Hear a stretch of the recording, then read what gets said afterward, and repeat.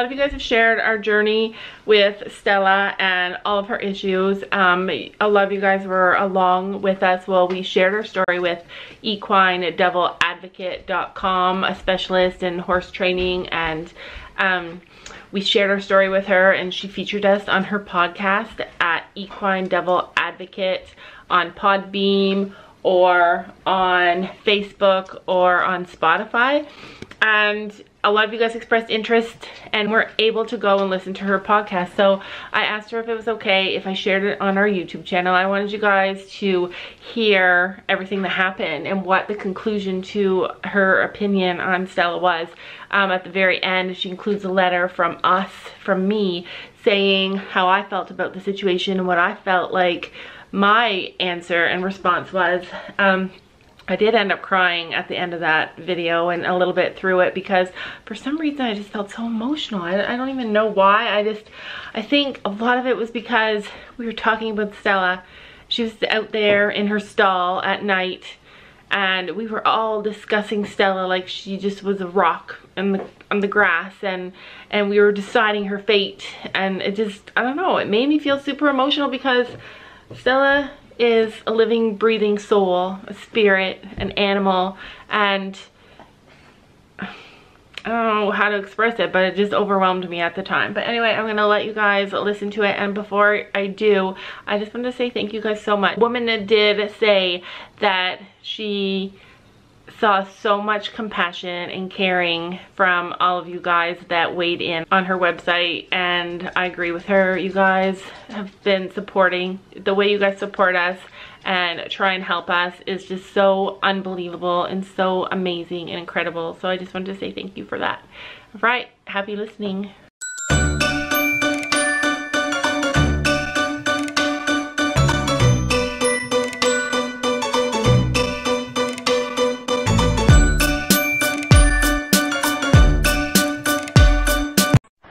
Good afternoon, everyone. And yes, today is Follow Up Sunday, the podcast brought to you from Equine Devil's Advocate.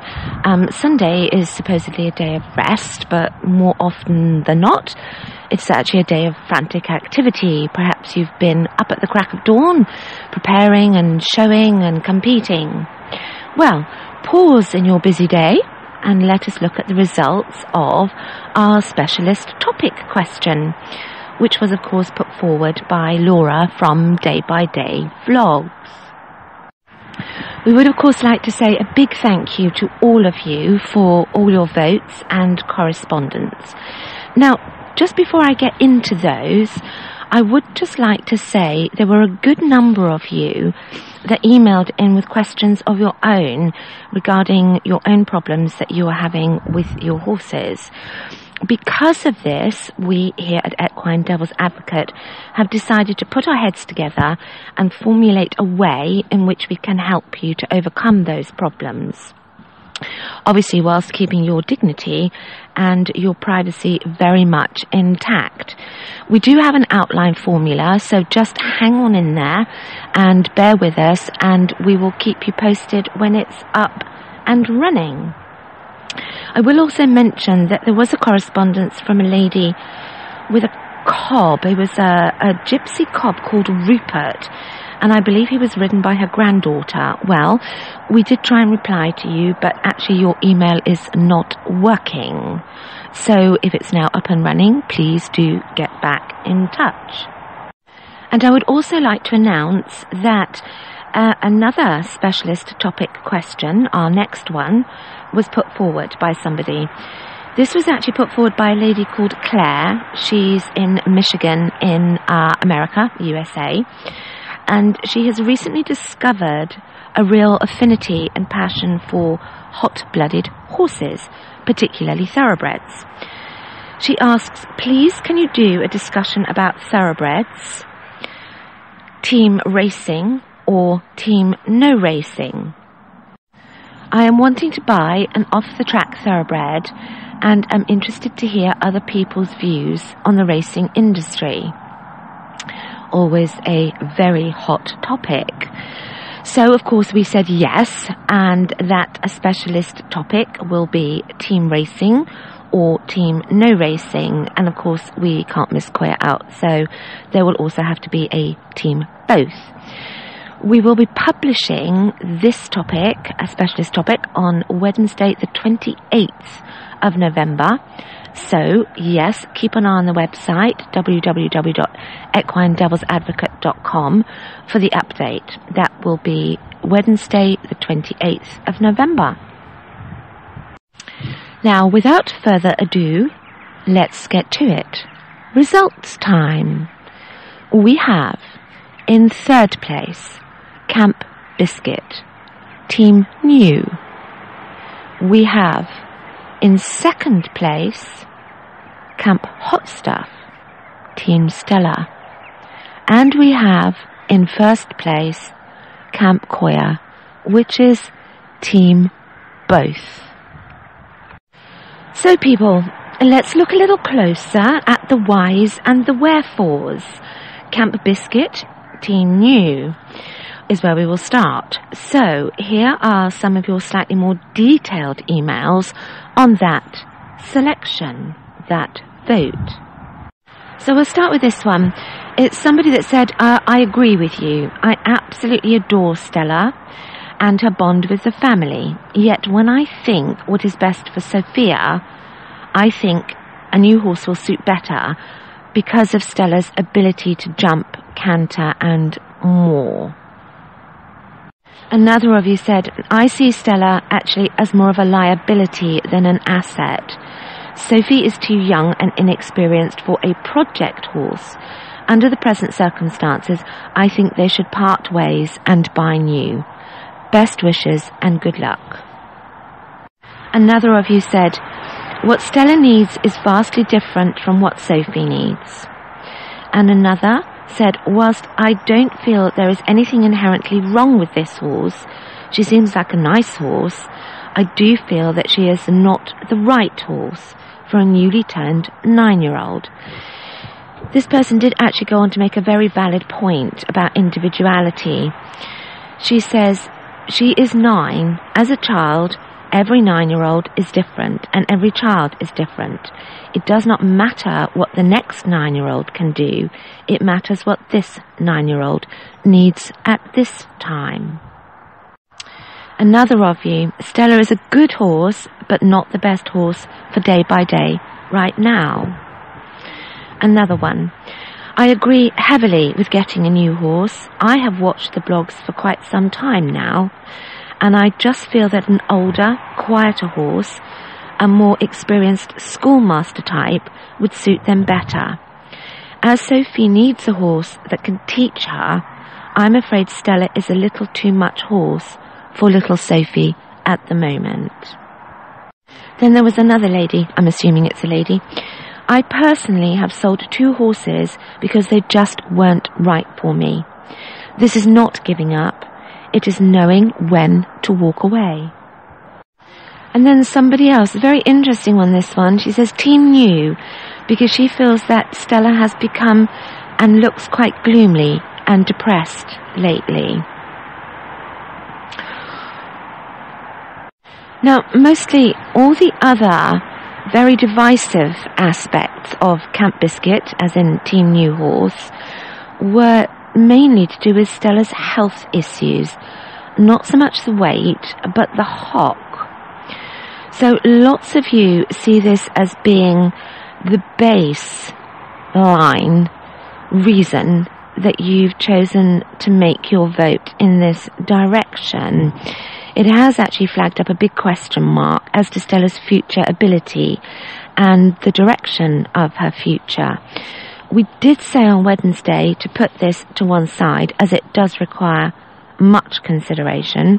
And Laura did actually mention that in her initial message that Stella was under veterinary care. Um, yes, as we've mentioned, there are stories of success through fusing joints, and it is a very lengthy process and there are also stories that did not end well at all. In fact, there was someone who sent in a lengthy, very detailed email of such an experience. And we'd just like to say many thank yous to you for doing that because we know sometimes it's actually very hard to relive and write about such tragedy. There was also another um, very eloquent, lengthy email from someone who, um, on the same topic, was asking how these things are sort of handled here in England. Well, to answer you briefly, I think we are actually extremely fortunate to have very advanced veterinary services at our disposal. In brief, I would expect with a horse in what we would describe as home care, as it is with Stella, that they would be regularly re-x-rayed to identify progress or complications and regular blood profiles would be taken a, so that we could monitor any sort of inflammatory markers and of course very important liver and kidney function which is vital when uh, pain medication is used over a long period of time we here at, Equine Devil's Advocate would also take regular blood tests and do a mineral profile so that we could know that we were feeding the best nutrients needed for the best nutritional health of the horse, particularly if that horse were on a diet. It is such a lengthy, prolonged process, I think the overview here is to look for um, a longer period of easier exercise that's done more hours throughout the day rather than the short burst of activity that um, some people advocate. I am, of course, assuming that this is uh, somewhat standard veterinary care and is available pretty much anywhere in the world, and of course, hopefully, very much to Stella. It is a very difficult process for horses, and it is a very lengthy one, and yes, as to the outcome, only time will tell. But you have all expressed this with much kindness, I will add, and um, for this reason, it's enough, you feel, for them to take on a new horse for Sophie. So, very many thanks to all of you who took the time to write in about it. So now let's move on and we will have a look at second place, Camp Hot Stuff, which of course is Team Stella. Again, so many emails. I took a few and um, let's have a listen to those. I am Team Stella too, as I think that she and Sophie will become an amazing team. Yes, she has health spook problems, but they can be overcome, and Stella and Sophie will be a wonderful partnership. Another one said, Team Stella, she is a wonderful mare. Another one, Team Stella, I watch day by day and they are a good family. I think Stella is a good fit for Sophie and they have a good bond. But as I said, it's their choice. I hope they pick the right one.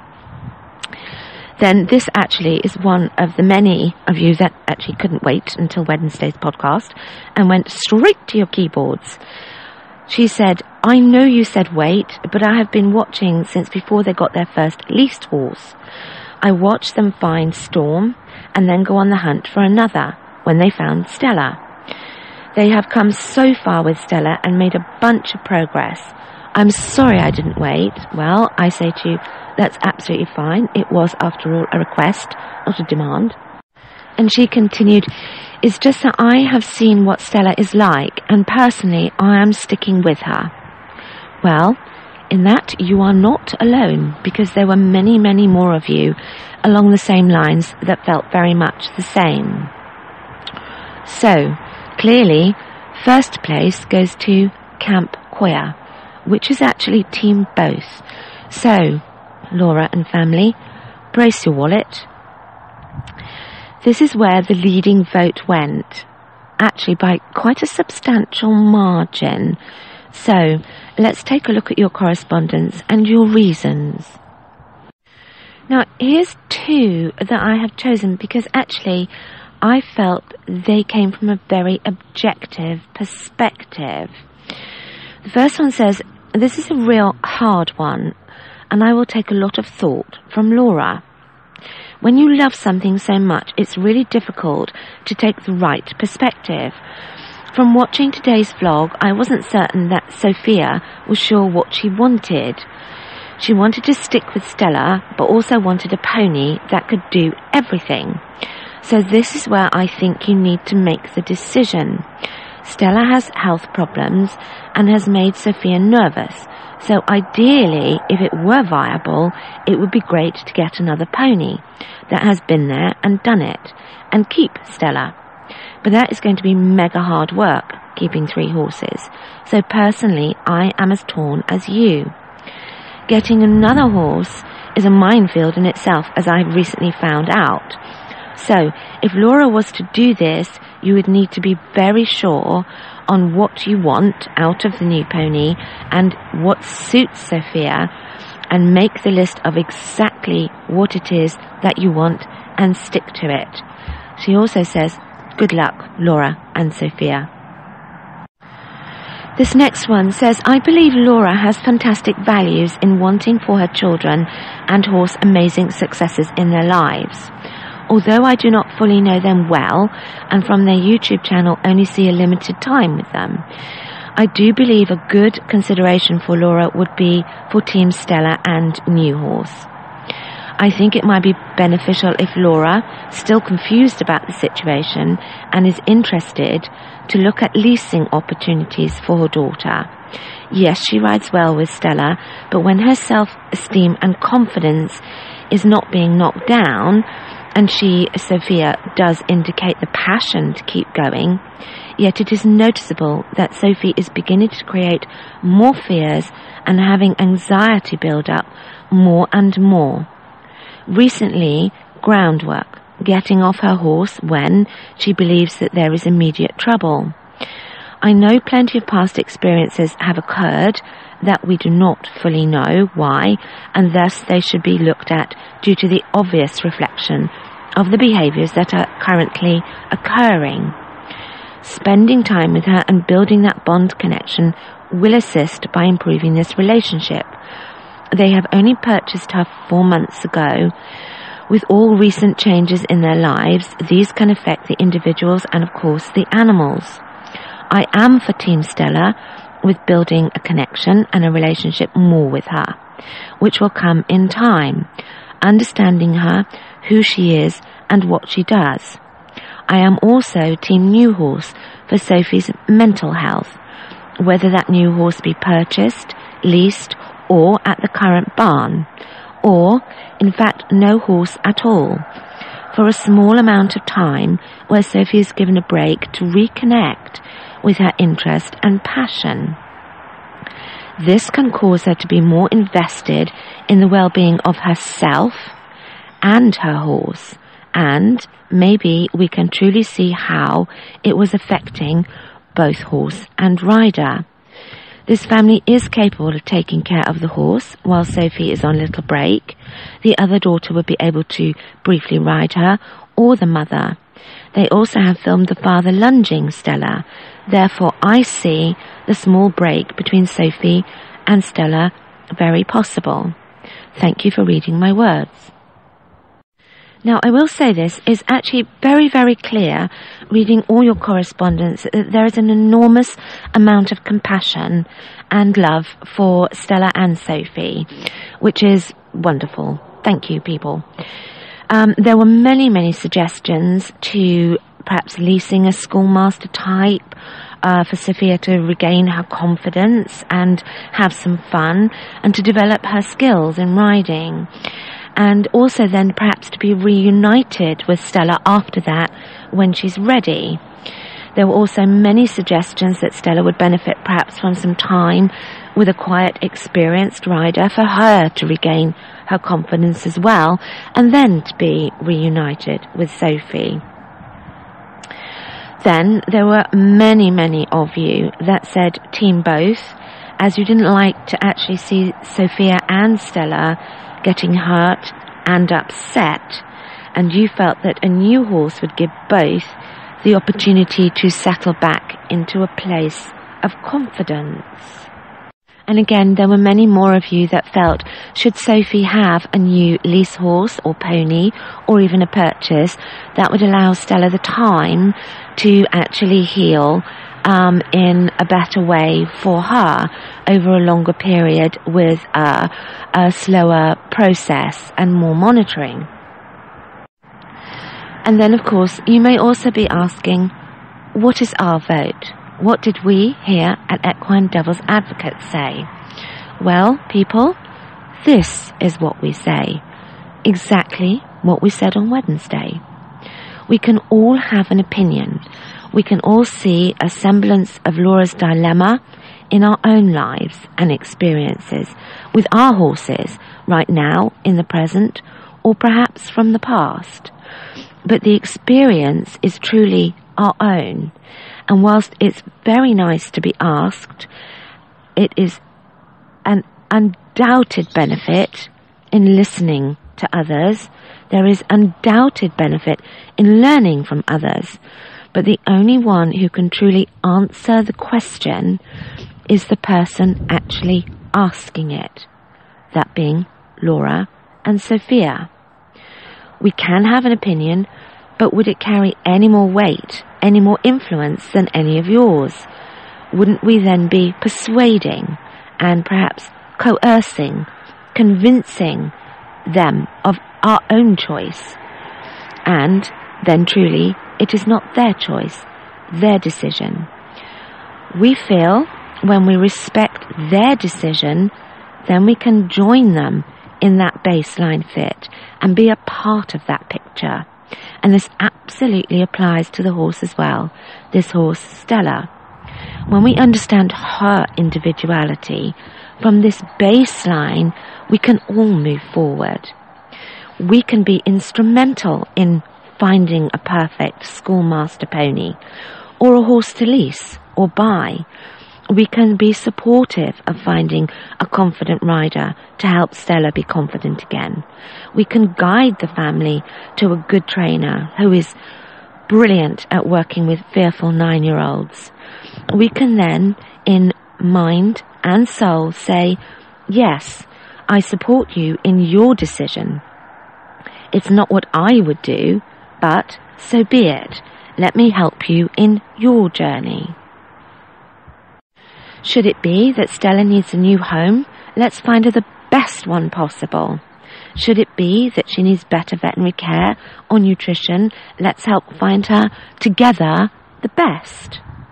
If she just needs the support of another calm horse in that dark part of the arena where she spooks and becomes afraid, let her find that confidence giver and let her have that company and that equine calmness to lean on, a friend that she can understand, and a friend that supports her.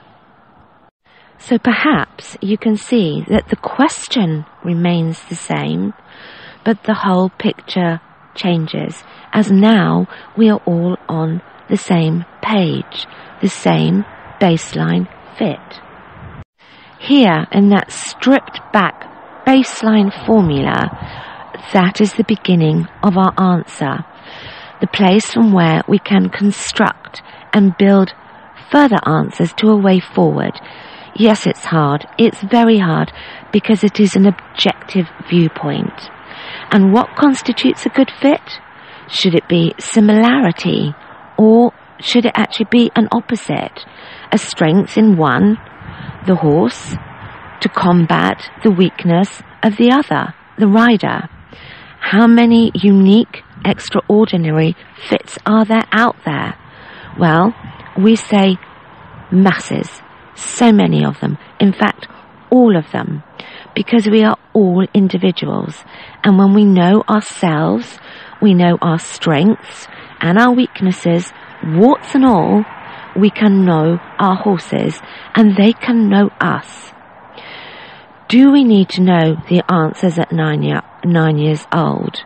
Are we equipped to know ourselves at that age? We say no, absolutely not. But we do know some of ourselves, which is fine because any choices, any decisions that you make now has no need to be set in stone. It can change, it can develop, it can go with the ebb and flow just as life does, like the seasons do. It is inevitably a decision for now, But make that decision with clarity, heart and head aligned, but always be open to new possibilities, new opportunities, new knowledge that come your way, and that can also come to the way of your horse. And there is, of course, the most perhaps important correspondence, which we did in fact receive from Laura herself. I haven't read it, um, so I am going to read it all to you right now. I'm sure you're all dying to hear, and so consequently, I have saved the best for last. Here we go. Laura says, I listened to your podcast twice from start to finish and attempted to use the formula to find a solution to our problem. So many things listed in the formula were unknown to me. It's hard for me to look back and know what makes Stella happy. And it's hard for me to know what Sophia will want Stella for in the future. If the formula is meant to help me use my head instead of my heart to decide, then perhaps this is how we ended up in this situation in the beginning. My heart is how I make all of our decisions, good or bad, it's what I know and what I believe. If I stick strictly to the facts, then this is how I feel. I have a responsibility to Stella to keep her safe. I absolutely do not feel that she would be better off in another home. We know we may not be knowledgeable enough yet, but we have a team of people ready to help us, and I have no trouble asking for help. Stella has, has health issues that require financial upkeep as well as daily exercise requirements. I can't imagine many people out there with as much free time as us or anyone who, anyone who would want to buy a horse that requires such a substantial financial commitment. Stella was a trained school horse previously and has demonstrated compassion and patience with us on many more occasions than he, she has shown us fear. Her two big spooks were caused by us not realizing that she needed time to adapt to her new surroundings. If I buy Sophie a new horse every time she becomes scared, we will soon have an entire herd of horses as she has become scared of our other horse recently. I suspect we need to fix Sophie before we fix Stella, who seems to just need a confident rider. Stella is the exact perfect horse to teach us about becoming confident. Right for us or not, Stella is our horse. We do love her. The damage caused by moving from home to home to home may be the entire problem to begin with. I absolutely do not ever want Stella to move homes again. I want to teach her to trust us, to love us, and know that she belongs and will always be safe. I do not know if another horse is in our near future. I feel, I feel that we have so much going on with the horses that we do have. We need to spend the time we have learning about them, growing with them. Stella fits our family because she is a part of our family already. We love her, and I think she does love us, or is beginning to love us. We do have two horses, one that can jump if Sophie wants to jump. I guess in my heart I know that Stella belongs to us. Why else would God have led us to her? And so there you have it, people. The overall deciding winning vote lands with hot stuff Team Stella. And now you know the decision, and now you also know where this journey begins. So, from all of us here at Equine Devil's Advocate, we say a big thank you to Laura and Stella and Sophie for putting themselves forward and asking this question. And of course, don't forget to join us for the next specialist topic question, which we will publish on Wednesday, the 28th of November. We will, of course, be back tomorrow for our regular Monday episode, more of the curse of Tutankhamun. So until then, wherever you are and whatever you're doing, take care and we will speak soon.